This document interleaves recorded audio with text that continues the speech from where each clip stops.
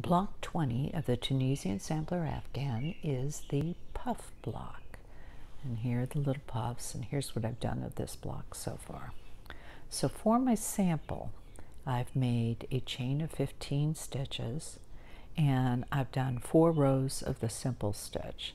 And on my fifth row, which is going to be starting this little puff right here, I've gone to the halfway mark which is basically I have now seven simple stitches, well the end stitch plus six simple stitches to get right to the eighth stitch, which is smack dab in the middle. To make your puff stitch, you're going to yarn over and you're going to go through that stitch front to back like you do for a knit stitch and you're going to draw up a loop. Then yarn over, go back in that same stitch again, draw up a loop yarn over, go through that same stitch again, and draw up a loop. And then take those six stitches, which is your yarn over stitch and your draw up loop, and you're going to yarn over and draw th through all six of those stitches. Which I'm trying to do watching through the camera versus looking at my work.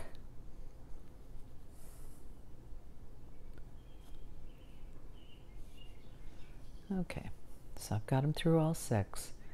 Then you chain one to close it.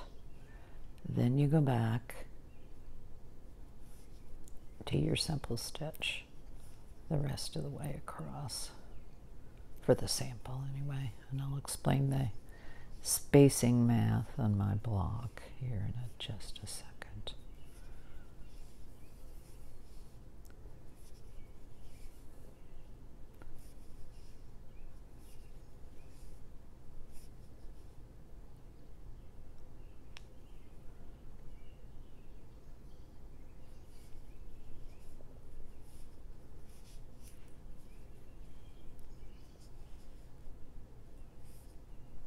and then your normal yarn over and draw through two all the way across. Oops, lost some of my yarn there. Cotton splits.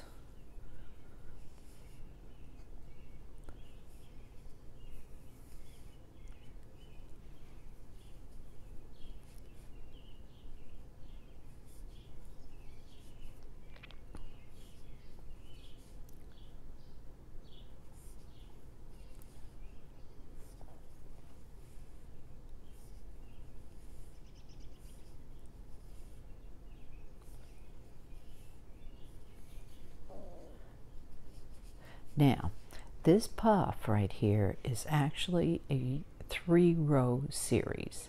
In the first row, we did one puff. In the second row, we did three puffs. In the third row, it was one puff. And so I have to decrease by one. And really, I don't count stitches because I tend to do this while I'm watching television, so I don't want to be counting. What I do is just look at the work. Okay, I'm going to have to put a stitch there and then a stitch on each side of that. So I'm going to simple stitch up to that point and then I'm going to do my puff stitch. And it's the same, yarn over, draw up, yarn over, draw up, yarn over, draw up. Three times till you have six loops that you draw through, and you're going to yarn over, draw through all six of those loops, which is hard to do when I'm watching it on the camera. Kind of peek around here and do it this way. Okay, and I'm there, and I know I got off camera, but I'm just struggling. There we go and then I did my chain one and I'm going to do that in this one and this one then my third row I'm going to come back and I'm just going to do it in the center one again so that's how the puff stitch I it I know it looks hard the way I'm doing it, but primarily trying to do it in front of a camera or looking through a camera screen is not the same as just doing it. Okay, so what's the math? I did, uh, for those that have watched my videos, you're aware of the fact that my blocks were all 36 inches or 36 stitches wide and 29 inches tall. And so I wanted to do three puffs, then the next one, two puffs, and then three puffs, two puffs, uh, till the end of the block. So I had to figure out the spacing between the puffs as well as uh, up and down as well as left and right. Okay, so since there's three and there's a stitch there, a stitch there, a stitch there, take three from 36 and you're left with 33. Well, one of those is your end stitch, your end stitch over here. So that leaves you with 32.